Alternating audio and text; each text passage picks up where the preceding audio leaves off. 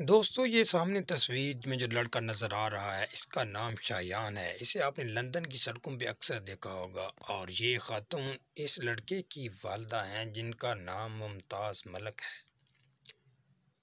नवाज़ शरीफ के पीछे नारे लगाने के बारे में ये मशहूर हैं। हर जगह पे उनका पीछा और ताकब किया जाता है।